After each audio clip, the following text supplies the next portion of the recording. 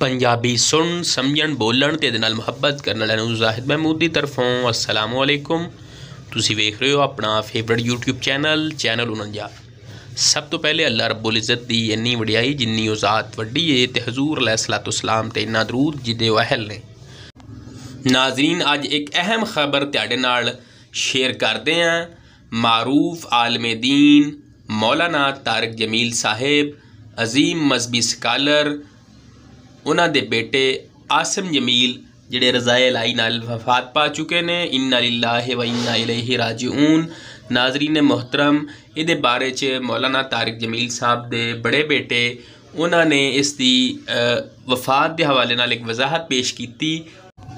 ਕਿ ਸਾਡੇ ਛੋਟੇ ਭਾਈ ਆਸਮ ਜਮੀਲ ਬਚਪਨ ਤੋਂ ਹੀ ਡਿਪਰੈਸ਼ਨ ਦੇ ਮਰੀਜ਼ ਸਨ